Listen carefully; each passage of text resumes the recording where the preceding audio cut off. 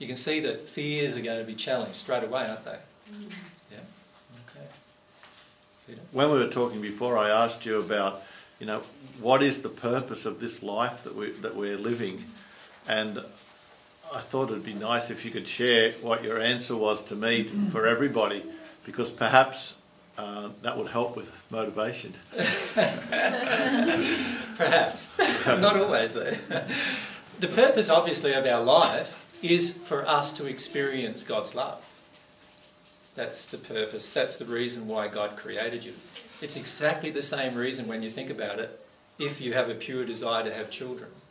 The reason why you had that pure desire to have children was so that your children could experience your love.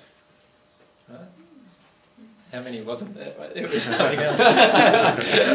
it was an accident.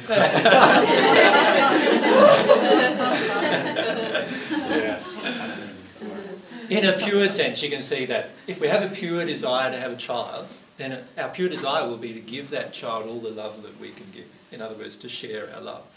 And in fact, that's why God made it that way, to teach us more about God. God has a pure desire to share her love with you. Right? And that's the reason for your creation, in fact. And that desire was so intense that the instant God had it, you came into being.